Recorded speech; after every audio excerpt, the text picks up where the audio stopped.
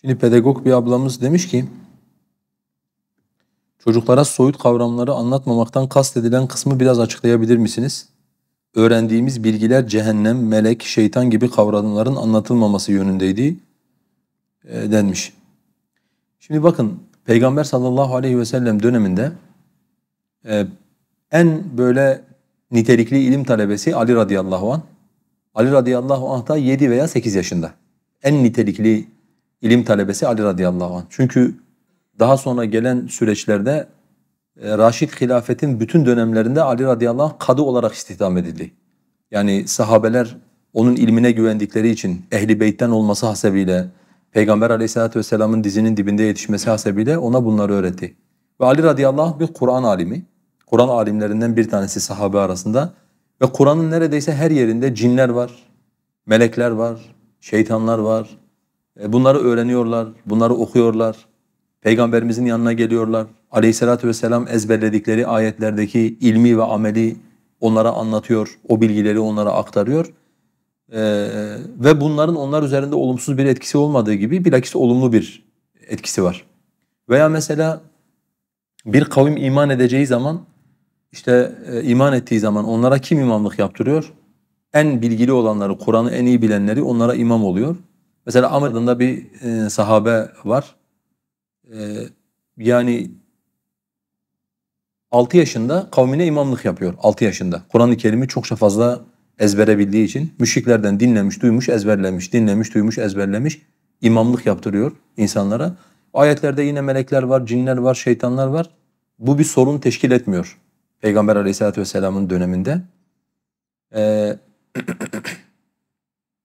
neden dolayı bu böyle? Şundan dolayı. Şimdi bir pedagog olaya tamamen dünyevi açıdan bakar. Yani pedagojik bilgileri üreten zihniyetin İslam gibi, Allah gibi, maneviyat gibi, fıtrat gibi, kalp gibi bir kaygıları olmadığı için bu bilgileri üretirken tamamen dünyevi olarak bakıyor ve bakıyor bir çocuğun zekası ne zaman işte zekanın aşamaları var. Şu aşamada işte soyut olanı somut olanı kavrar. Şu aşamada somutla soyut birbirine girer. Şu aşamada ikisini birbirinden ayırt edebilir. E doğru. Yani insana sadece fiziki yönüyle baktığımız zaman, e, bilişsel yönüyle baktığımız zaman evet bu doğru. Ama bizim konuştuğumuz konu bu Allah'ın dini. İnsanın zaten fıtratında var olan e, bir durum bu. Ve bir çocuk bunu öğrendiği zaman bundan yana şey yapmaz. E, bundan yana çocuğun zihninde, kalbinde, inancında bir sorun, bir problem oluşmaz Allah'ın izniyle.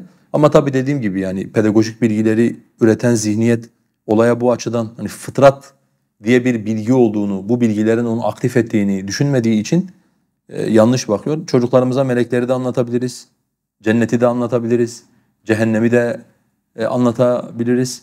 E, bunlar hepsi Allah'ın indirdikleridir ve Allah'ın indirdiklerinde insanın zihnine, kalbine, ruhuna zarar verecek bir şey yoktur. Geçen hafta siyer dersinde çocuk eğitiminden bahsetmiştik.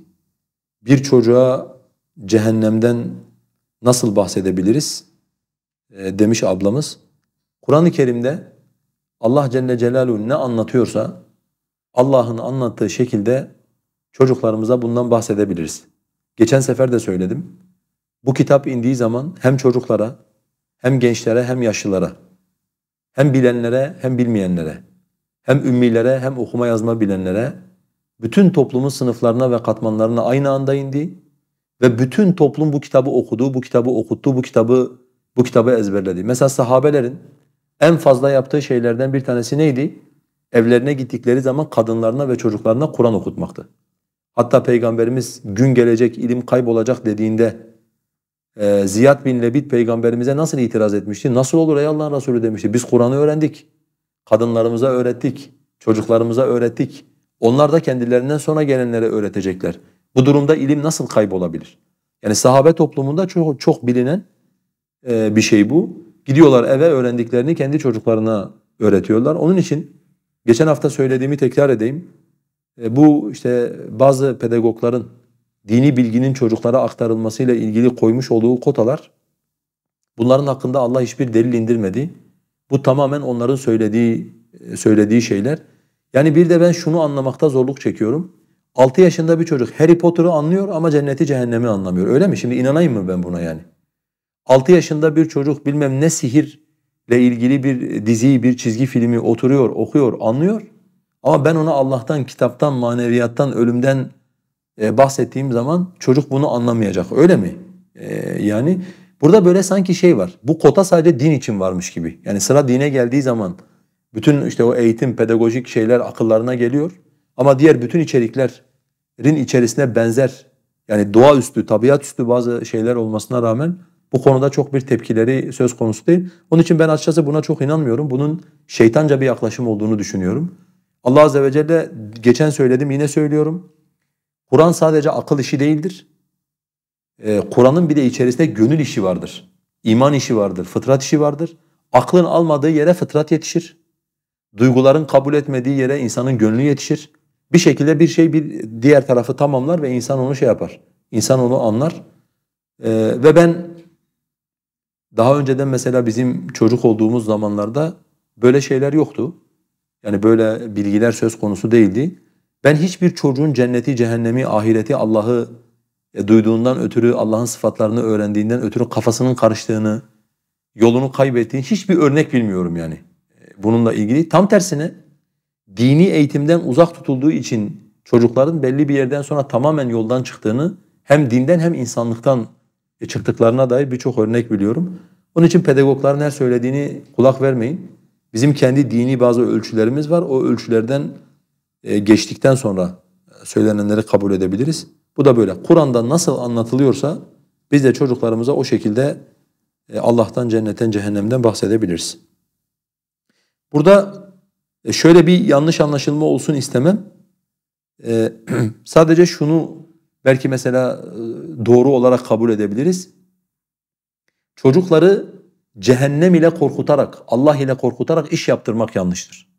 Çünkü Allah azze ve celle sadece bizi korkutarak bize iş yaptırmaz. Bizi bir taraftan müjdeler, bir taraftan korkutur. Bizim de bir çocuğa eğitim verirken bunun dengede olması lazım. Yani bir taraftan çocuğumuzu müjdeleyip ona şükür bilincini kazandırıp, sorumluluk bilincini kazandırıp Allah'a olan sevgimizin bir gereği olarak ona kulluk ettiğimizi hatırlatmamız lazım.